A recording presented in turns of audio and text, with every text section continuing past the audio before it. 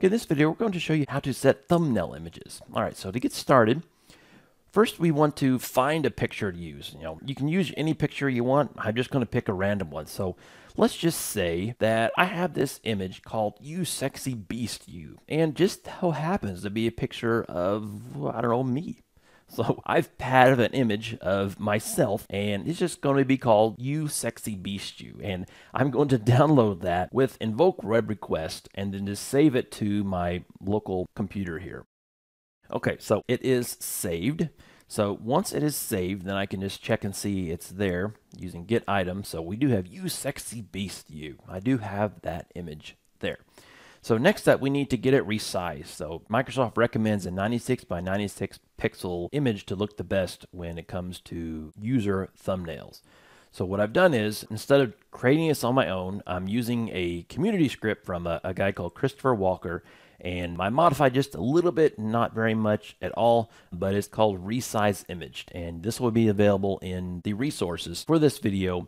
And you can see there, it resizes bitmap, PNGs, all this good stuff. I'm not going to go over all this by any shape, form, or fashion, but you can uh, read that at your leisure, shall you choose to do so. All right, so I have the function available. Then I will go ahead and run it, resize image, and I'm choosing the width of 96 and setting the maintain ratio because I could set a width and height by 96 by 96, but it will probably look really skinny if I do that. So I would just change it to 96 on width, and this ends up being 96 by 96 because of the original image resolution. And then I'm going to create the new one and call it sexy.png. So I just you know, save a few keystrokes. I'll just call it sexy. All right, so now we have a 96 by 96 image called sexy.png. I will check and see that's there. Yep, okay, it is there. All right, so next up, we need to encode that image into a byte array. And we can do that by getting out the raw contents and encode it in byte.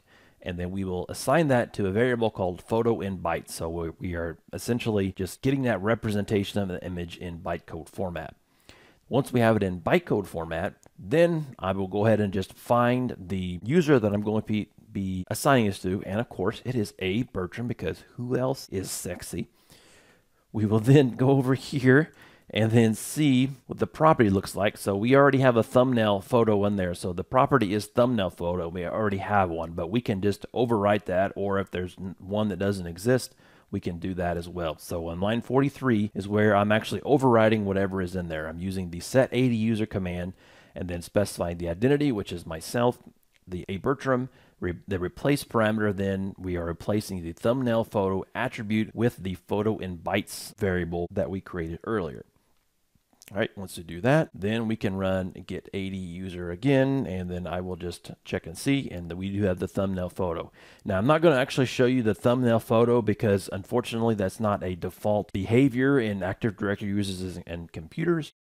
But you know, if you have Exchange or Outlook installed, or you know something or some other kind of third-party utility, this image will definitely show up attached to the A Bertram account.